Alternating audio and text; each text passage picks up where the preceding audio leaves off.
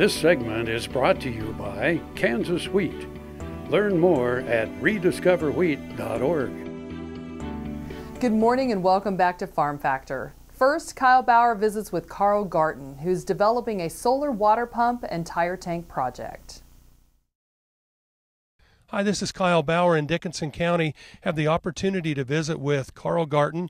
Uh, they are installing a solar powered pumping unit on a farm that he's involved with. Uh, Carl, why did you uh, want to develop this project? Well, this site here, we have a little over a quarter grass, about 170 acres. The only place we have water on it is clear on the east side, so the cattle have to walk a full mile uh, from the west side to get to water. Uh, soil site type here is very sandy. We uh, have tried putting ponds before, just can't hold enough water.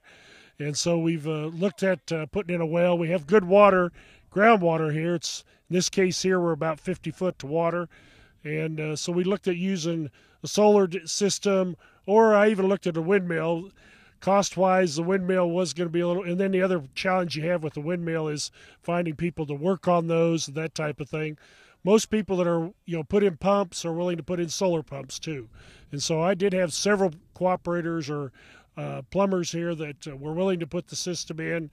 In this case here, we decided to put it in ourselves with uh, the help of uh, Herschel George from K State, and uh, made a demonstration out of it too, and that way we could kind of stretch this project out. Uh, you know, you hire somebody, they're going to come in here and want to do it real fast, and this way we can stretch it out and still make it a demo. But mainly so we could get full utilization of this pasture. Um, with having water clear on one side, we don't get cattle coming clear to the west side to utilize the grass fully. This pond is located about three fourths of a mile into the pasture, and so there, we got water now on the west side they still can go to the east side, water there too, and so we'll have two watering sources out here in the mile distance. Will you normally use this pasture in the summer or the winter? We do a little both. Um, usually we'll put cattle out here. Uh, the, my operator that's here uh, uh, uses it early in the spring when he's still putting uh, embryos or AI in those cows. And then once they're all uh, bred, he'll then move them on off of here, and then this pasture will set completely empty uh, until mid-September, so about two and a half, three months, and then uh, we'll utilize it again early in the winter uh, here. So right now he's got about 30, 40 cows out here utilizing this grass now as he's bringing them home. So something that would work in both hot and cold weather was one of your considerations.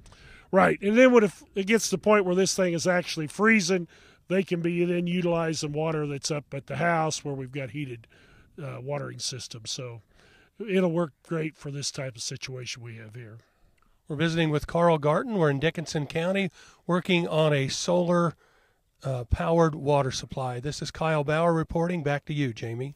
Stay with us for more Farm Factor as Kyle catches up with Herschel George, a K State watershed specialist.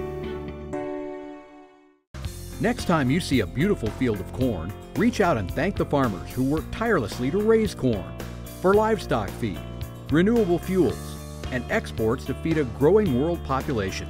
The farmers on the Kansas Corn Commission work for Kansas Corn with grower-funded checkoff dollars that support foreign and domestic market development, research, promotion, and education to expand opportunities for Kansas farmers. To learn more, visit kscorn.com.